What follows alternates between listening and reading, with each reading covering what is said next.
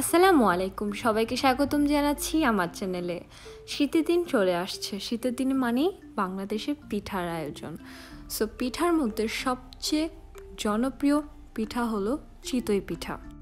তো চিতই পিঠাটা দুই রকমভাবে খাওয়া যায়। একটা দুধ চিতই আর আরেকটা হলো মাংসের ঝোলের সাথে বা ভর্তার সাথে।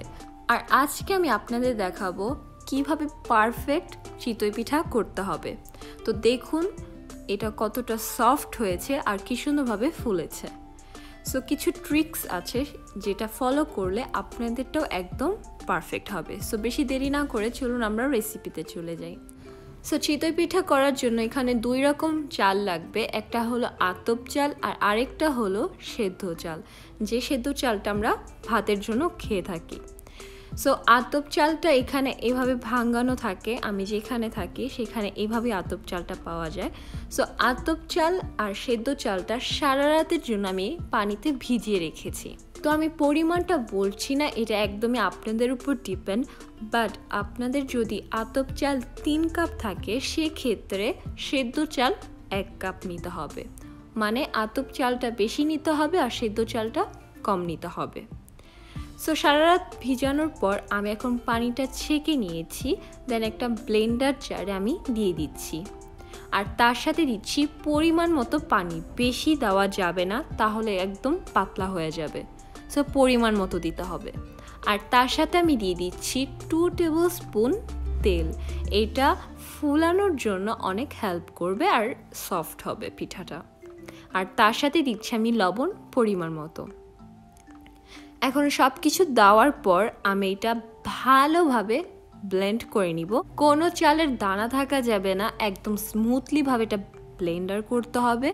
আর দেখতে পাচ্ছেন, এটা একদম ঠিক কনসিস্টেন্সি হয়েছে। বেশি পাতলাও হতে হবে না, বেশি ঘনও হতে হবে না।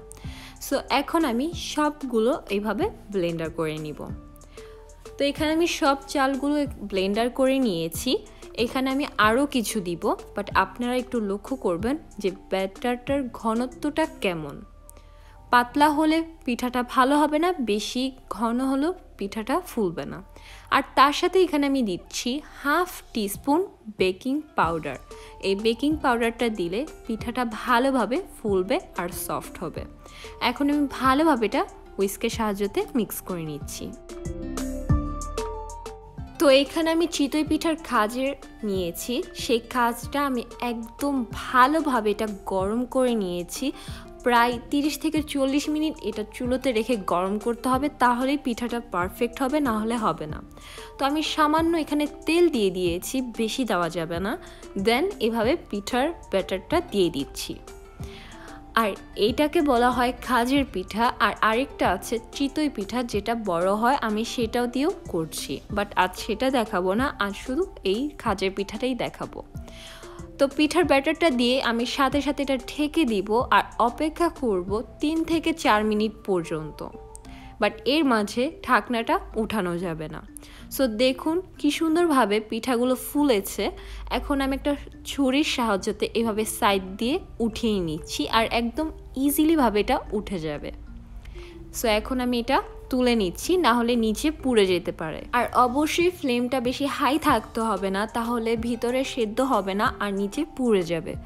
সো খাসটা ভালো মতো গরম করে দেন ফ্লেমটা একটু মিডিয়াম করে নিতে হবে। এখন আমি আরেকটা পদ্ধতিতে দেখাচ্ছি। এটা জাস্ট অপশনাল আপনারা এটা করতে পারেন, নাও করতে পারেন। এভাবে আমি ব্যাটারটা দিয়ে উপরে সামান্য ধনে পাতা কুচি ছিটিয়ে দিচ্ছি। এটা দেখতে সুন্দর আকর্ষণীয় লাগে, খেতেও ভালো লাগবে, ভর্তার সাথে মা মাংসের সাথে। বাট যেগুলো সাদা করেছি, সেগুলো দিয়ে আপনারা দুধ করতে পারেন। তো এখন সেম জিনিস করতে হবে, এটা ঢেকে দেওয়ার পর, তিন চার মিনিট অপেক্ষা করার পর উঠিয়ে নিতে হবে। সো এটাও দেখতে পাচ্ছেন কি সুন্দরভাবে ফুলেছে। সো আপনারা যদি এইভাবে সুন্দর করে ব্যাটারটা করেন, একদম পারফেক্টলি আপনাদের চিতই পিঠা হবে আর ফুলবে।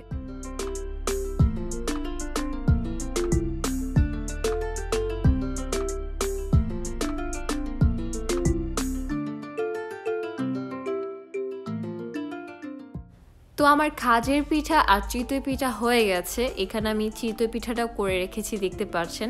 আমি আগেও দেখিয়েছি যে এটা কতটা পারফেক্ট হয়েছে, আমি আবারও দেখাচ্ছি যে দেখুন কতটা সফট হয়েছে আর কতটা ফুলেছে, একদম পারফেক্ট হয়েছে। আর চিতই পিঠাটাও দেখাচ্ছি সেম ব্যাটার দিয়ে আমি করেছি, এটাও একদম পারফেক্টলি হয়েছে।